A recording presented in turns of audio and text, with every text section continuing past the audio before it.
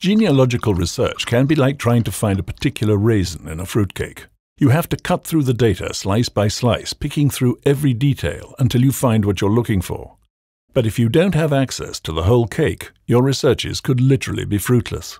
This is what's happening as companies and institutions set up data paywalls and restrictive licensing to control the use of their data.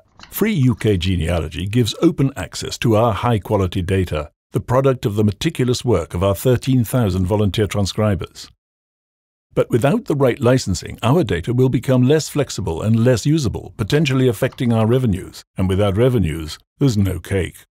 The best solution is to license our 327 million references as open data, safeguarding the permanent unrestricted access to and use of our data.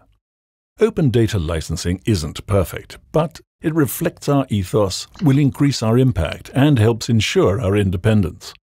It also lets our users have their cake and eat it.